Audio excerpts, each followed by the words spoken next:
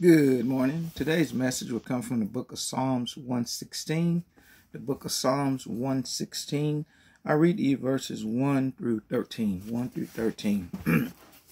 I love the Lord because he has heard my voice and my supplications, because he had inclined his ear unto me.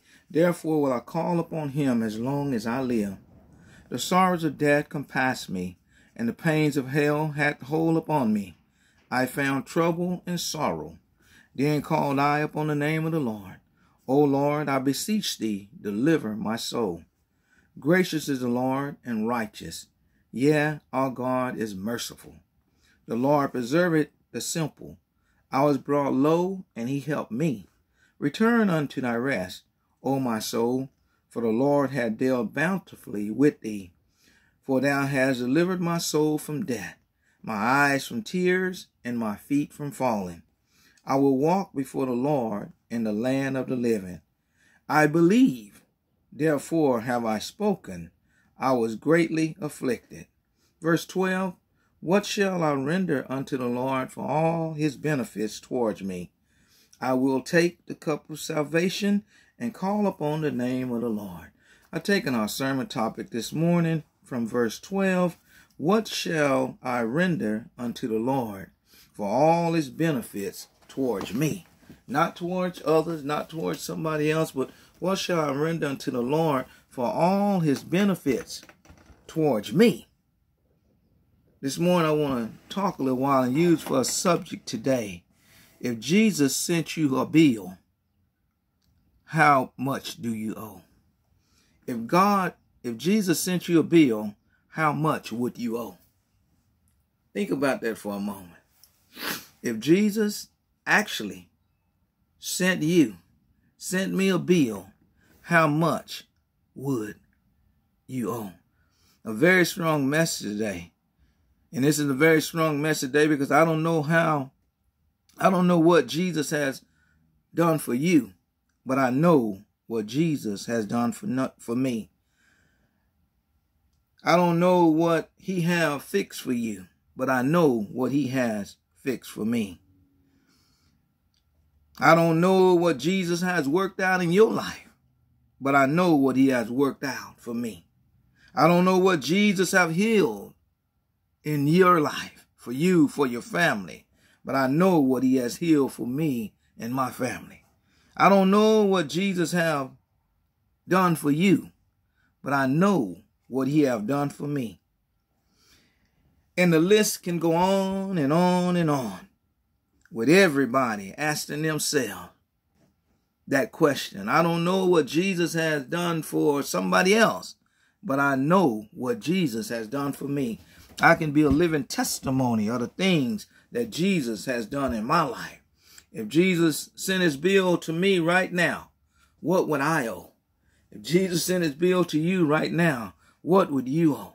My Lord, my Lord, words could not explain what I owe. Numbers could not count up what I know. If I live to be a thousand years old,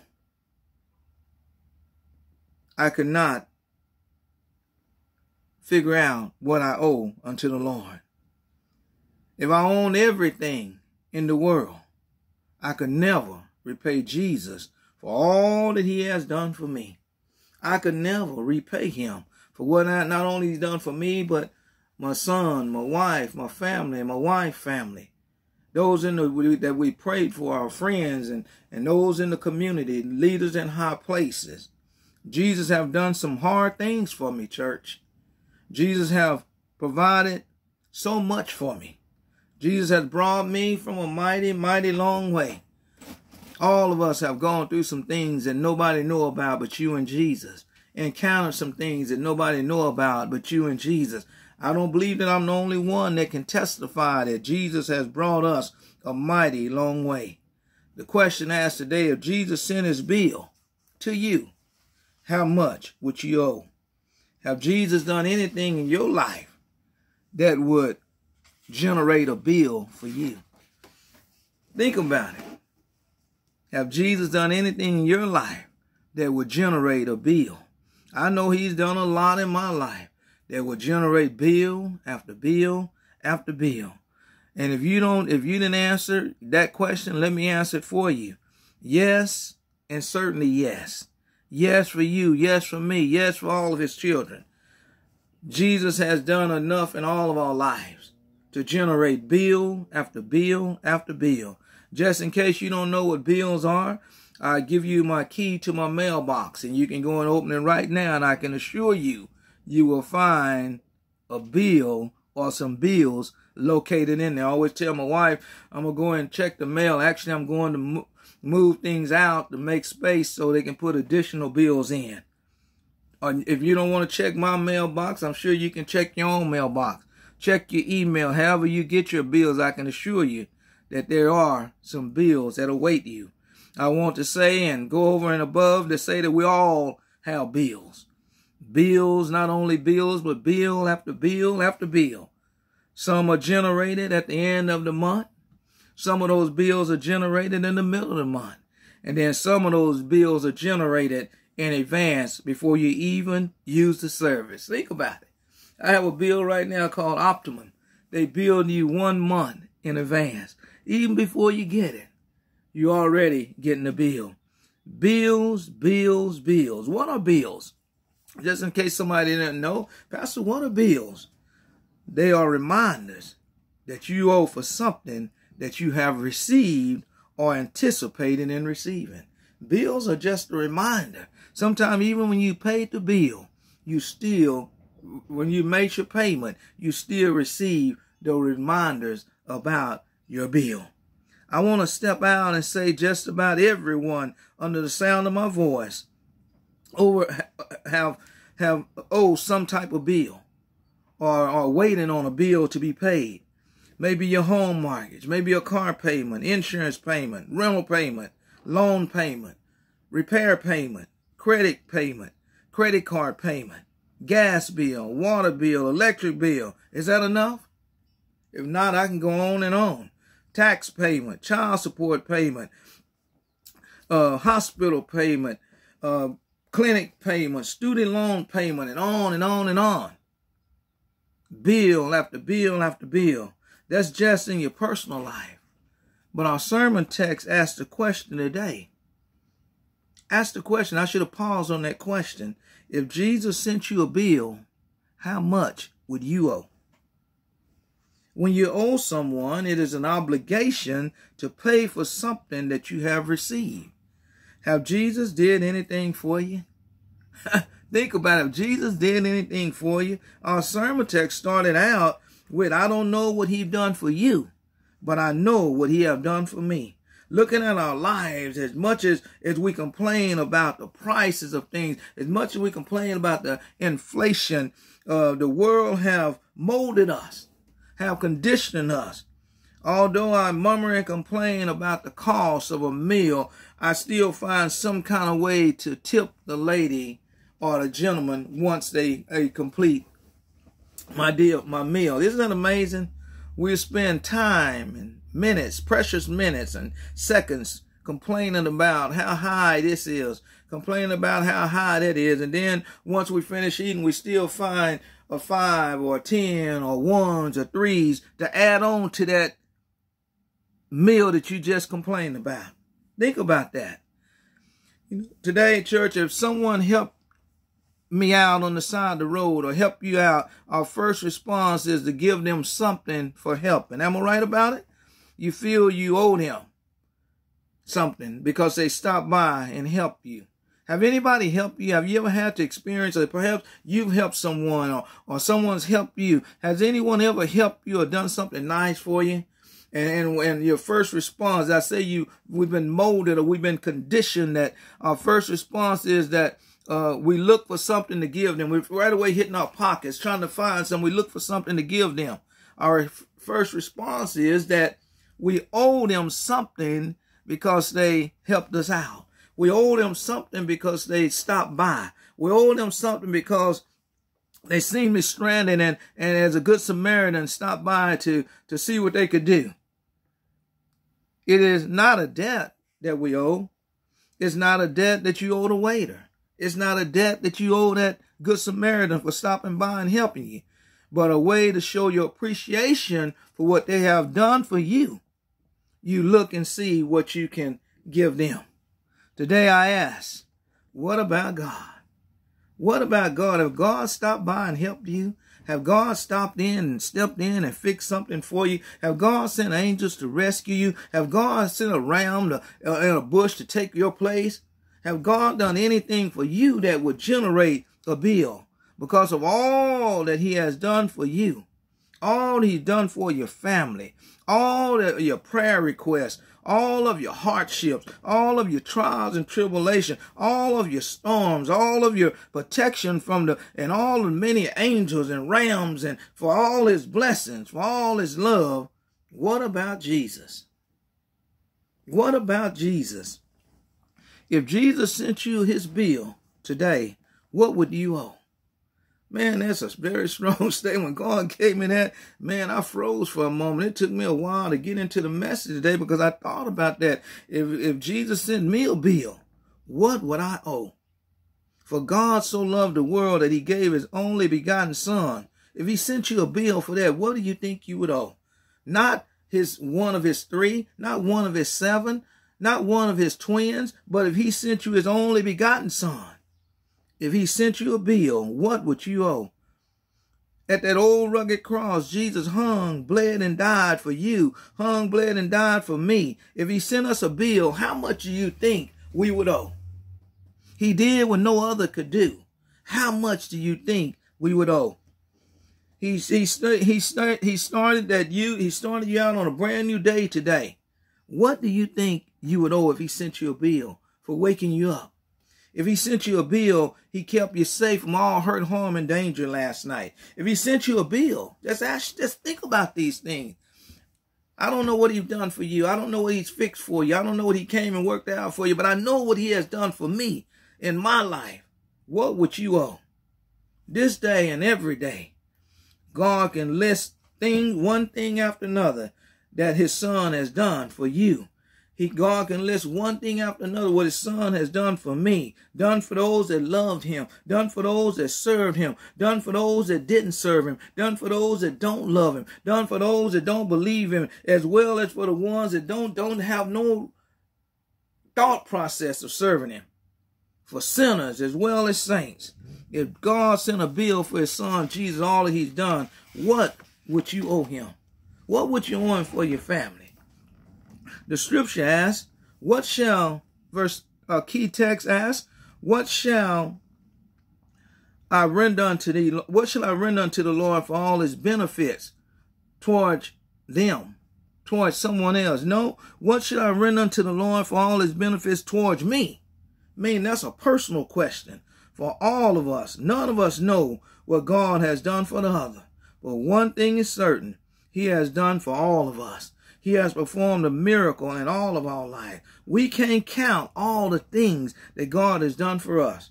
Truly, God has been good to all of us. And because of God's goodness, we need to present. Because of God's goodness, we need to present our bodies a living sacrifice, holy and acceptable unto God, which is our reasonable service. We must never forget. We cannot. We must never forget what God has done. Never forget what God is doing and never forget if tomorrow come what God is still yet willing to do in our life. Oh, what a mighty good God we serve. Yes, Jesus paid it all. And the songwriter saying, all to him we owe. To love the Lord with all our heart. Love the Lord with all our mind. Love the Lord with all our soul. Understanding that we can never repay Jesus for all that he has done. We can never repay him for all that he has done. But because of his love, because of his grace, because of his mercy, I can be a part of letting everything that had breath praise the Lord. I don't think people giving God enough praise. I don't think they're giving Jesus enough praise. They're running with the blessing. We need to be a part of that. Let everything that had breath praise ye the Lord because he's worthy to be praised. In closing, this morning in the book of Mark, St. 12, uh, St. Mark, chapter 12, the disciples asked the question, and some of you may have that same question today. And the disciples in Mark 12, 14 and 15, And when they come together, they said unto Jesus, Master, we know that you are true, and we know that you regarded not the person of man, but teacheth the way of God. Is it lawful to give tribute to Caesar or not? They was asking them, should we give tribute to Caesar or not? Verse 15, asked, they asked him another question. Shall we give or shall we not? Someone may be asking today, do I give or do I not? But Jesus know. Jesus knew that they were trying to tempt him. So he told them, he said, I'll tell you what, disciples, I want you all to go and bring me a penny. And they brought forth the penny that Jesus had asked for. And Jesus then asked them a question. He asked them, whose image and superscription do you see on the penny? And they answered him and they said, Caesar. Then Jesus answered and said, Render to Caesar the things that are Caesar, and to God the things that are of God. This morning, somebody may be asking that question. Somebody may be tossing, what I do, what I give, who do I? He said, give unto them that belong to them and give unto God what belongs to God. This morning, church, God is letting us all know to give unto Caesar what is Caesar and give unto God what is God. Psalms 116, verse 12, our key verse asks that question, what shall I render unto the Lord for all his benefits towards me, to do unto others as Christ have done unto me, to love ye one another as Christ have loved you, to forgive ye one another as Christ have forgiven you. What would you, what if Jesus sent a bill, what would you owe? What would you owe if Jesus sent a bill right now?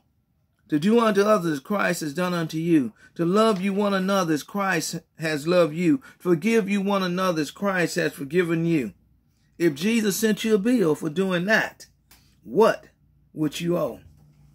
This morning, this morning, church, Christ is not sending you a bill. I'm so grateful. We're so blessed today to know that Christ is not sending us a bill, but a reminder he is sending you a reminder. The things that you are seeing Christ do, like so, likewise are you to do ye one to another. What would Jesus do? Those things that you are seeing Christ do, do ye likewise. Because if Jesus sent you a bill, what would you owe? Let's not, let's not, I want to leave you with a few things right now in closing. God's message I spoke for itself. But I want I thought about some things this morning in the commentary. I just want to share with you about that bill from Jesus. Jesus is not sending you a bill, but just in case he did, what would you owe? Jesus said, I'm gonna I thought about I was sending you a bill for rent. The world is your home.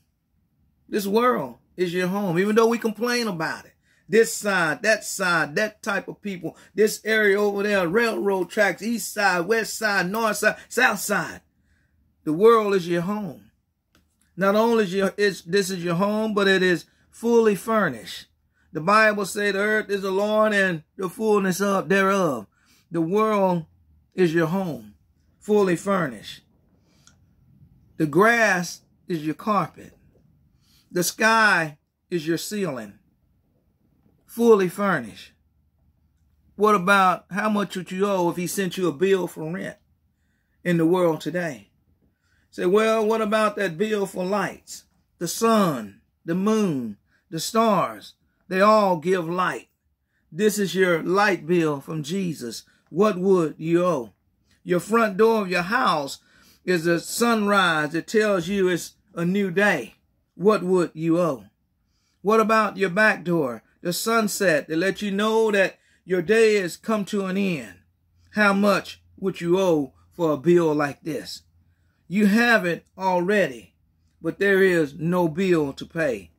The next bill is what you cannot live without.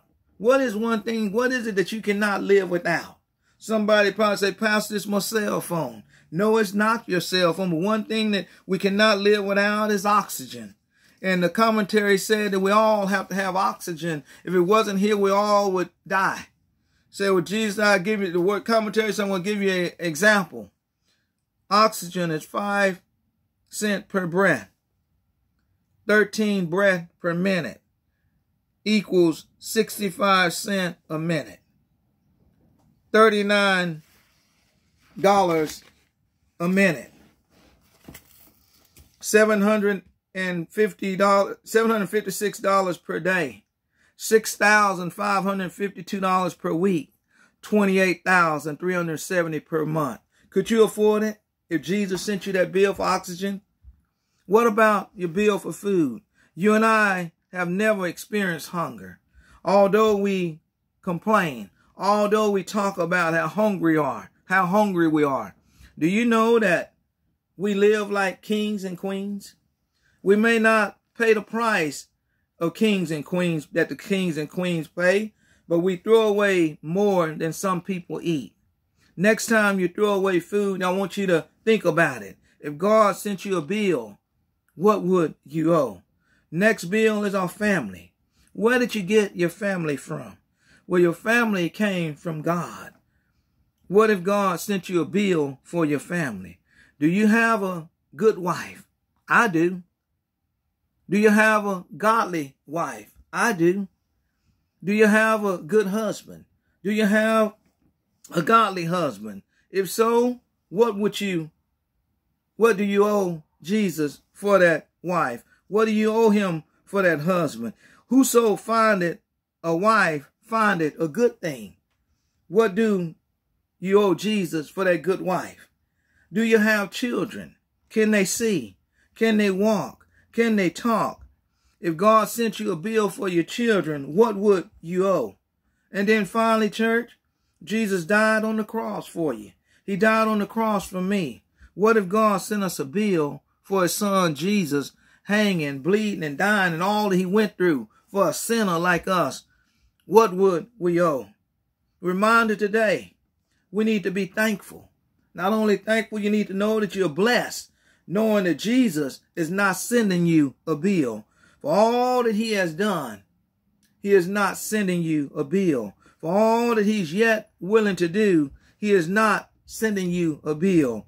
But he is asking you to be ye thankful in all things. Instead of complaining, murmuring, and complaining, we need to be ye thankful. The bills are high, but be thankful that you have a job to pay your bills. This is one of mine. Your clothes are too tight.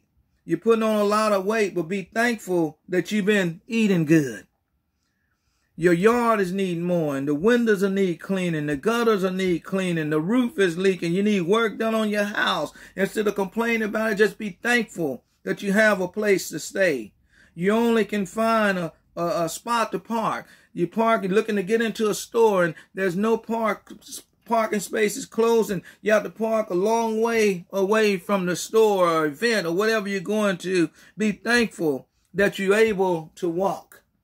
The electric bill or your gas bill may be high, but just be thankful that you was able to keep warm during the winter. You was able to stay cool during the summer. Somebody keep complaining about this, complaining about that, and you say, oh, here they come again. They can always complain about this. Just be thankful that you have ears to hear. The piles of the laundry keep getting higher and higher. Don't complain about it. Mean that you have been blessed to have a change of clothes. I can go on and on and on. But I just want to close with that topic today. If Jesus sent you a bill, what would you owe? Think about it. Think about it. I pray and trust you've got a thought out of the message today.